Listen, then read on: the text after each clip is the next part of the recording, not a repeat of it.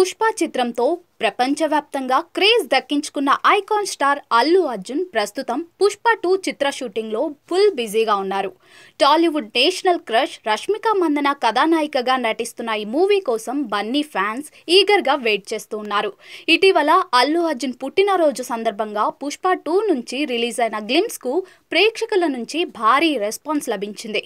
ఈ గ్లిమ్స్ బన్నీ అభిమానుల్లో మరింత క్యూరియాసిటీని పెంచేసింది. ఇకపోతే అల్లు అర్జున్ అండ్ తన సతీమణి స్నేహారెడ్డి డెబ్బై ఐదవ స్వాతంత్ర దినోత్సవం సందర్భంగా ఓ ప్రతిష్టాత్మక కార్యక్రమానికి హాజరయ్యారు. ఆ సమయంలో బన్నీ జాతీయ జెండాతో ర్యాలీ చేశారు. అయితే ప్రస్తుతం దేశవ్యాప్తంగా పార్లమెంట్ ఎన్నికల హడావిడి ఉండటంతో కాంగ్రెస్కు మద్దతిస్తున్నట్లుగా అల్లు అర్జున్ ఫోటోలు వీడియోలను ఎడిట్ చేసి వైరల్ చేస్తున్నారు. ఈ వీడియో సోషల్ మీడియాలో దుమారం రేపింది. ప్రస్తుతం పలువురు జనాలు ఆ వీడియో మళ్ళీ ఇన్స్టాగ్రామ్ ట్విట్టర్లో తెగ వైరల్ చేస్తూ బన్నీ అన్నలో రాజకీయ లక్షణాలున్నాయంటూ కమెంట్ల వర్షం కురిపిస్తున్నారు.